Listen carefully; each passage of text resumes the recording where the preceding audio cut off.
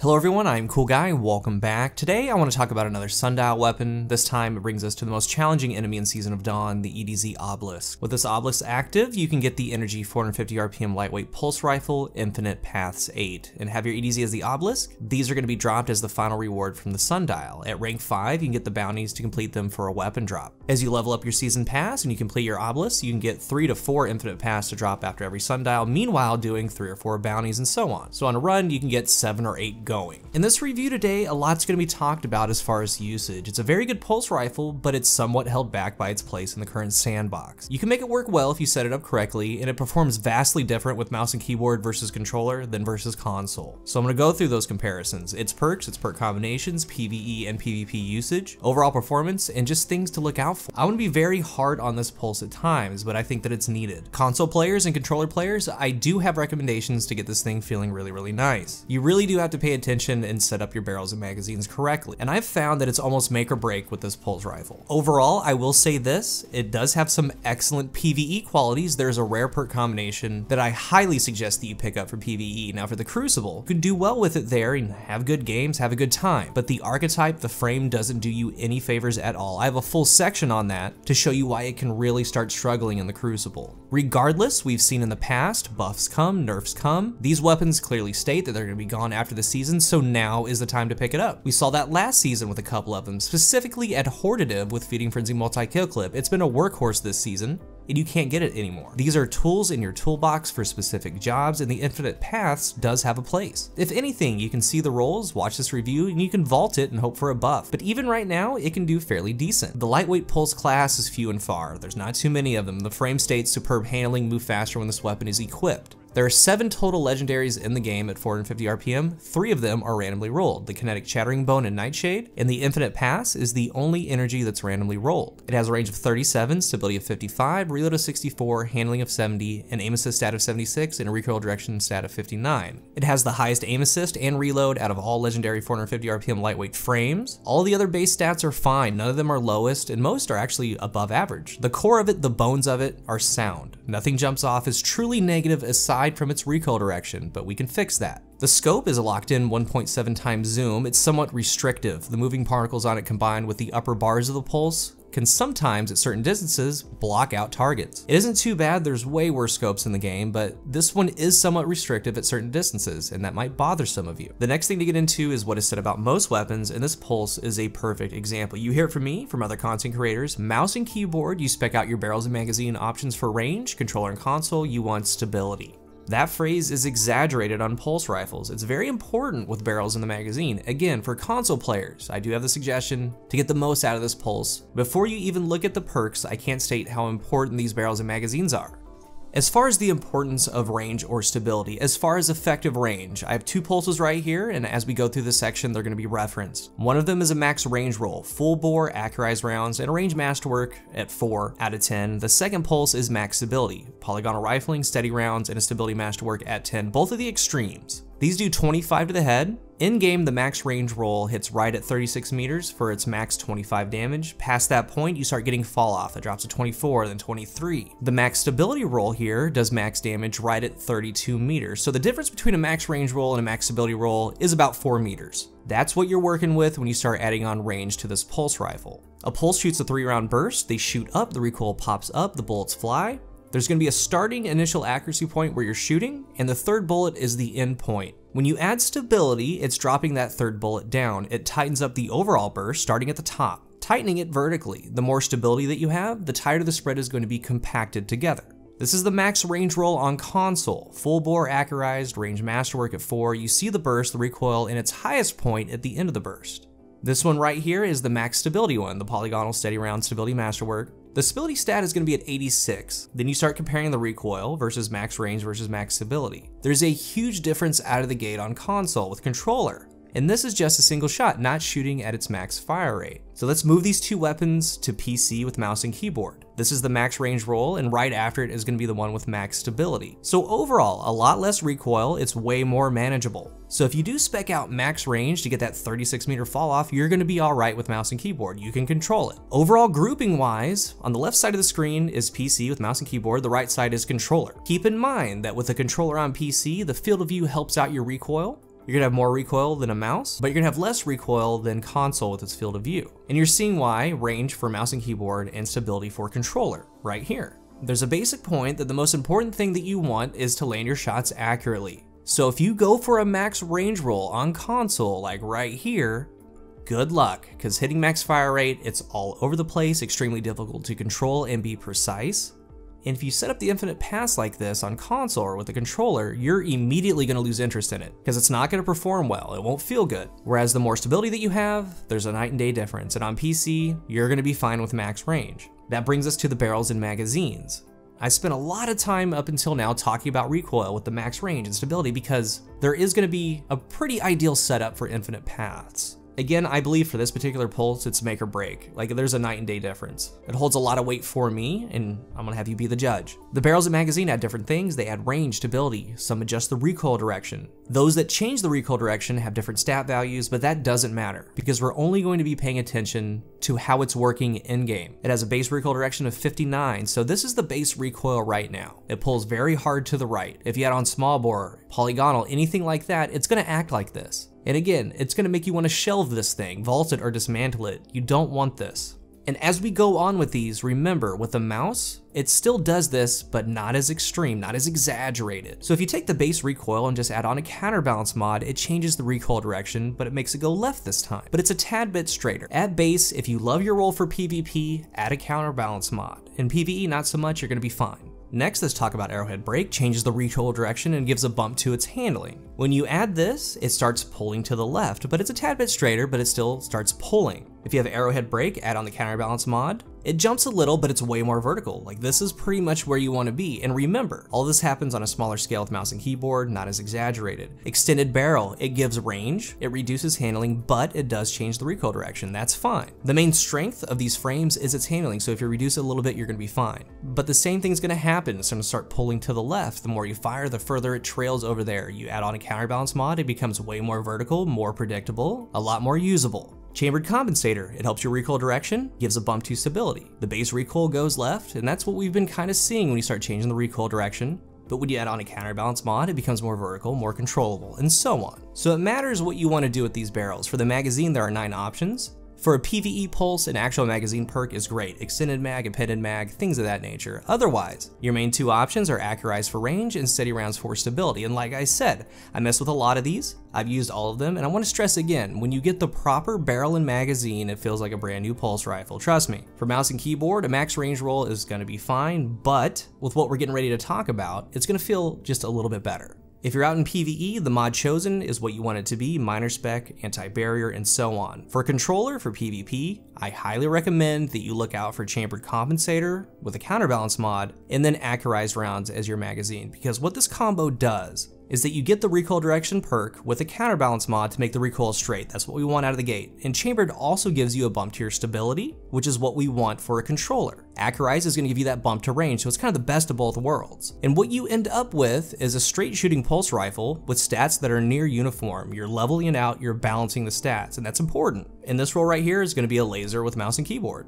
with little to no drift or carry with the recoil direction. I feel that this is the top overall combo, but you can go with arrowhead brake or extended barrel with a counterbalance mod. The main two things is combining them to make it vertical. You want chambered arrowhead extended with the counterbalance mod. With anything but chambered, you don't get the stability with those. You can add on steady rounds instead of accurize and so on. There's a lot of ways to set it up. I just feel that chambered with the mod and accurize is the best of everything. And later down in the PvP section, it'll make sense why we spent so much time here. Moving on to the perks, this will go a little bit quicker. The first note has Demolitionist. Great for a grenade build, kills regenerate grenade energy, throwing the grenade refreshes your mag. It's top tier, auto-loading holster. It has use, not too beneficial. It's more of a PvE perk. There are better options for this pulse though. Genesis, it has some use. Breaking in enemy shields reloads the magazine from reserves. This is an energy weapon, so each hit regenerates the ammo from the reserves when matching an arc shield. Moving target, this perk grants a passive plus 5 to the aim assist stat and increased movement speed. Your strafe speed, it does push you over 10 mobility if you're spec'd out for 10. It's a great PvP perk. Threat detector, increased reload stability and handling when enemies are near. Great PvE perk, but there are better options with combos on this pulse rifle. Then we have grave robber. Melee kills refreshes the magazine from reserves. It has a place. The second perk, we have Swashbuckler, the only true damage dealing perk. For this pulse, it stacks to times 5, and you can get to that times 5 stack immediately if you get a melee kill. Damage is around 30% more than base when you're at a times 5 stack. Zen Moment, causing damage with this weapon increases its stability. This translates to stability increases with each hit, capping out at 66% more stability after 5 hits. Not all weapons are created equal with Zen Moment added. You had to have a good base stability because that max 66% more stability that it does give is coming from your base stability with no perks added. So on a pulse rifle, it's a massive buff to them, to their grouping, to get a tighter burst. It's a top tier perk. Dragonfly, precision kills create an elemental explosion. This is a secondary damage dealing perk because it causes damage to surrounding enemies. You can add a Dragonfly spec to increase the radius and the damage of Dragonfly. Eye of the Storm, the only pulse rifle in the game to have this perk currently. The weapon becomes more accurate and boosts handling as your health gets lower. We aren't worried about the handling part, that's a little icing on the cake. The main thing is becoming more accurate. And you can see this happening with what I like to call under the hood when you're in hipfire. This is console, again, everything is exaggerated, so with mouse on PC, this is still there but not so exaggerated. Eye the Storm has two stages. When we fire our weapons, you see the crosshair bloom out. This is your accuracy cone, this is bloom. Eye the Storm procs when you're at 50% health, so it's gonna be useful in every single gunfight that you get in. When you trade shots, you're gonna be at least half health, it's gonna start coming into play. When you are at half health, your accuracy cone tightens just like the perk states, meaning the shots from here on out, the best way to describe it is that they're very crispy, they're on point. So in Infinite Paths, you can see Eye the Storm doing the same thing, tightening that accuracy cone, reducing the bloom, making it a straight shooter, and overall tightening the accuracy cone. It's very good in PvP. The shots just connect better. And we know that there is a second stage to Eye the Storm at about 25% health. It tightens the cone even further. A very good perk. We have Shield Disorient, Energy Match Shield Explosions disorient nearby enemies. It's useful with Genesis, but there are better better perk combos for this pulse rifle, but it is the only pulse in the game that has this perk. And then finally we have opening shot, improved accuracy and range on the opening shot of attack, and just like I said with the scout rifle, it's never a bad perk. But for these perk combinations on this weapon, I think that there are better combos overall. However, if you do want opening shot on this pulse, it's going to perform great. After all, there are only three pulses in the entire game that have opening shot, and this is one of them. For PvE, a while back we talked about a rare perk combination. It was with Dragonfly Rampage. It's only on the Trust and the Ringing Nail, and the beauty of it is using the secondary damage dealing of Dragonfly to proc its main damage dealing perk, Rampage. Using Dragonfly to proc Rampage. So you can shoot one ad, the explosion from Dragonfly can take out a couple other ads. That Dragonfly explosion procs Rampage, so one shot on one ad can get you immediately to a times 3 stack of Rampage. And if Dragonfly Rampage ever drops on a 140 or 150 RPM hand hand cannon, maybe they can make it a ritual PvE weapon that will automatically become a top 5 PvE weapon. But with this season, another rare perk combo has come up. It's one that I've been kind of looking for and waiting for. And I do believe that this is the main draw to Infinite Paths. And remember, this does great now, and if these ever get a buff, you're going to want the role. It's going to be Demolitionist Dragonfly. New to this season, be on the lookout for it. There is another, and that's the Jack Queen King. It can roll this combination as well. Here's why it's special, and to show what's happening with this role, the idea idea behind it. And in these clips, I do have on a Dragonfly spec. When you get kills, Demolitionist gives you grenade energy. So you can headshot an enemy, Dragonfly is gonna go off. Each enemy that gets downed and caught in that explosion, each proc Demolitionist. Each one grants grenade energy. Working with Demolitionist is great, but Dragonfly is getting you that collateral grenade energy. And if the setting's right, one enemy taking out another group can get you your whole grenade back. We do have the artifacts now. Last season was Oppressive Darkness, this season the Solar Grenades causing disruption, so the grenades are always going to be a part of the game. It's a very good PvE combination, and again, it's the first time we've seen it along with the Jack Queen King having it, and this is my top overall, in my opinion, to go for. Now and down the line, it can be put to real good use. Some other PvE roles to look out for, when these are together, they're always going to be on my list, Grave Robber and Swashbuckler, because it works perfectly. You melee, it refreshes the magazine, automatically get a times 5 stack of Swashbuckler. We have Demo Demolitionist Swashbuckler. This way you can get a damage dealing perk while also gaining grenade energy. There's also Genesis and Shield Disorient. They work well, you can try it out, but the already mentioned roles have far more utility. And overall for PvE, it performs as expected. Great for mid-tier ads and low-tier ads. The Dragonfly demo role really shines. As for the higher tier majors, that's when you pull out your sniper, shotgun, linear fusion. For everything in between though, with the right role, the Infinite Paths does really well. On to PvP, each role that's getting ready to be talked about can work on any platform, but there are certain combos that benefit more on a certain platform than the other. There isn't a top role because each one does something different. It's going to be catered to you, to your needs. For console and controller, moving target was Zen Moment, and we went over the value of stability on pulses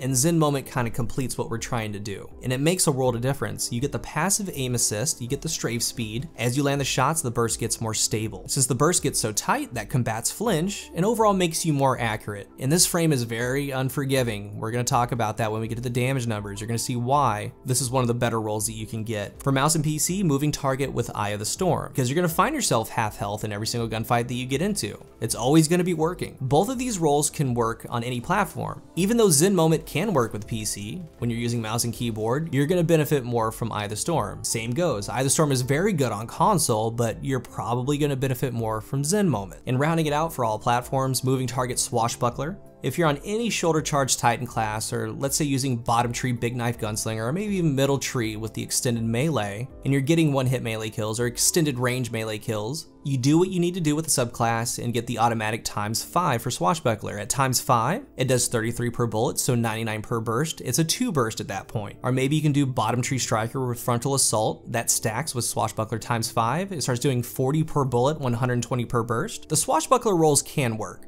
And even going target to target the second enemy at a times one stack, you're gonna be doing 27 to the head, 17 to the body. And I will bring that up later on in the review. That's an important number, 27 and 17. And lastly, anywhere you can pair Demolitionist with Swashbuckler Zen Moment or Eye of the Storm. All of these rolls work, I do put more weight into moving targets passive aim assist and movement speed because of this archetype's damage profile. In this pulse, this archetype adds more to my argument that middle tier archetypes need minor quality of life adjustments, they need minor tweaking, they need micromanaging. All the nerfs and buffs, it's kind of led me to this conclusion. The pulse has got a range nerf, anywhere from 12.5% to 25% less range. The aggressive burst, they used to hit max damage at 60 meters, now they do it at 45. The rapid fire frames like Horror's Least, they got a big damage buff. They used to hit max damage at 39 meters, now they hit max damage at 34. So the rapid fire frames are now currently in the same ballpark engagement distance. They do 24 to the head, they shoot faster, they're more forgiving. These lightweight frames do 25 to the head, 16 to the body, and it's basically pound for pound, meter for meter, right in the same range as a rapid fire frame. So let's stop and look at these pulses as a whole. The high impacts are a two burst, six critical shots. So if you're 100% accurate, you are rewarded with a 0.67 TTK. The 4 burst aggressive frame. There are 2 bursts, 6 crit and 2 body, they have a 0.73. They also, again, have that 45 meter max range. The adaptive frame like Bygones, 2.33 burst, it's a 5 crit 2 body, it's very relaxed at a 0.93. They have a little bit more range, than these lightweights and rapid fires, but not as much as an aggressive. The rapid fire, they're a three burst. You need to land seven criticals and two body shots for a 0.8 TTK. And even if you're flinched or you need to fire a fourth burst, its rate of fire and its damage allows you to be okay in gunfights. And then we have these lightweight frames. You need to land 8 criticals for a 0.87. The frame wants you to be 100% accurate with 8 headshots. With high impacts, again, if you're 100% accurate, you're rewarded 0.67 TTK. Out of 9 bullets of 3 bursts, 8 have to land as a headshot. It's unrealistic to have to be so precise to achieve one of the slowest TTKs of the pulses. And that's why I spent so much time talking about the barrel in the magazine because you need this thing to shoot straight. It wants you to land eight straight headshots. So if this thing's trailing way to the left or way to the right, you're gonna have a hard time doing that there can be zero mistakes. The .93 Bygones is fine because it has more range, it's relaxed, but these do share the same exact space as rapid fire frames, and those rapid fire frames shoot faster, they're more forgiving, they combat flinch because of their fire rate. What's really the point of the lightweight frame? Because at range, when you even see drop off, you still have to be 100% accurate, even more so when you start seeing 20s and 21s, like you're out of that gunfight, you're done. Even something right here, it looks reasonable, a reasonable engagement distance. The 25 that it does is now at 23 because of fall off, and you think that you, have landed great shots, but they still walk away. The frame doesn't do you any favors. I said this about precision ARs, I said this about 140 RPM hand cannons. The 150 hand cannons share the same range as the 140s. They're a 3 headshot, the 140s are a 3 headshot. I'm okay with the range nerf to hand cannons and pulses, but these in-between archetypes really do start needing help. And I believe that should come from ease of use by changing the damage profile. A 140 RPM hand cannon like Ace of Spades and Austringer should be a two head one body. They should have that ease of use factor, at least in my opinion. Now these lightweight frames, they felt best with a swashbuckler times one at 27 to the head, 17 to the body. This damage profile allows for a 6 headshot, 2 body shot, it's still an 8 bullet kill, it's still a .87, but it's a tad bit more forgiving. And since the range is pushed up so close, it's pretty much within a hand cannon range, and they can peek shot, they can jump, they can do different things. They can flinch your shot, your entire burst off. Having to land 8 straight headshots is fairly difficult. So yeah, I believe that having to hit 8 straight headshots from this pulse is unrealistic. You can do fine with these, but you need to know what you're getting yourself into because out of the gate, you're pretty much better off literally using any other archetype for their ease of use, their lethality, and for some of them, their range. Which is odd. Think about this. Luckily, I have a little library here. Check in the vault, video I made in 2016. Here's the crazy part. Back then, the fast firing was doing 23 to the head. They do 24 now, so a buff. They were a 0.8 TTK then, they're a 0.8 TTK now. The adaptive frames back then did 30 to the head, 20 to the body. They had a weird burst delay, they had a one second time to kill. In Destiny 2, now they're 31 to the head and 20 to the body. All those changes, it's a 0.93. It's a buff since then. High Impact's 34 to the head, 23 to the body. These got an RPM change later and stayed that way up until Destiny 2. They were a 0.73, now they're a 0.67, so a buff. You could two burst with them back then, you can two burst with them now. But let's look at the lightweight frame. Here's the crazy part. These lightweight frames back then did 25 to the head, 17 to the body. Now they do 25 to the head, 16 to the body. Back then, the Perdition, the PDX, the Hawksaw were stellar, and they were doing what they're doing right now. 25 to the head. And remember, this is back in a world where hand cannons like Austringer and Ace of Spades were a one headshot, two body shot. And with this Hawksaw gameplay, you can kind of see why they were so good. It's the stability that Destiny 1 had, even the base ability. As a whole, we have more recoil in Destiny 2 compared to Destiny 1. You, you could add braced frame, you could add hand laid stock, but even without them, they were very stable. But in Destiny 2, like I don't I don't know what this is. And it's super tough on the user. But I think those that did play Destiny 1 remember that these pulse rifles shined, and they shine versus way harsher competition. The range and the stability was key. Now, they don't have either of those things. Meanwhile, you do need to be 100% accurate. I don't know what needs to happen to them, but I feel like something should happen to them. The only 450 in the game that is the exception to the rule is Outbreak Perfected, because Outbreak Perfected has that Destiny 1 stability. Now, it also has that hidden perk that we talked about. It's that hybrid under pressure slash zen moment slash persistence, whatever it has. The more that you shoot it, the more stable it gets. And Outbreak Perfected is a real force in the Crucible. It does great. These lightweight frames are the only archetype of pulse that I wouldn't take into 5500 comp. I would take literally any other frame but these 450s. So with what I talked about, again, you can do well with them. Don't let that discourage you. You can have fun with them, you can have great games with them, but they ask a ton of you, and more often than not, my personal opinion, seeing the full body of work of other pulses, a rapid fire frame for this range is pretty much the overall better choice in PvP's current sandbox. In conclusion, Infinite Paths has some really good qualities, but it also has some very bad qualities. I went through various examples and roles, and the goal was to kind of see and learn about them. That way you can make a decision that's best for you. I do believe that the main role to go for is PvE centered, that's Demolitionist Dragonfly. Who knows if or when that combo is ever going to come up again, but you have a chance this season to grab one. It currently is and will be in the future an effective role. PvP wise, Eye of the Storm and Zen Moment are some of your better options, and we went over why. Eye of the Storm is a special perk, it's the only pulse in the game to have it. For Zen Moment, we talked about the barrels in the magazine, getting the actual frame straight to make it shoot straight, because it needs you to land 8 headshots, and that's why Zen Moment works so well. There's a ton of time left in Season of Dawn, and you can get exactly what role that you're looking for. You just gotta keep grinding and farming for it. If anything, you can vault it for a potential buff later on. If you decide to use it in the current PvP sandbox, keep your expectations in check, it's no powerhouse, but that's mostly to do to the frame that it has within the sandbox. The more that others around it are buffed, while the entire Pulse class gets nerfed all around for something like range, the Infinite Paths 450 RPM lightweight frame fall further and further down the list, being able to compete. If you're new here, remember to hit the subscribe button. If you are subscribed, thank you so much for your support. I do have new merchandise out. There's a Teespring store down below this video, and there's gonna be a link in the description. Let's talk about the Infinite paths. What do you think about it? What roles are you liking the most? Thank you for watching, and until the next one, I am Cool Guy.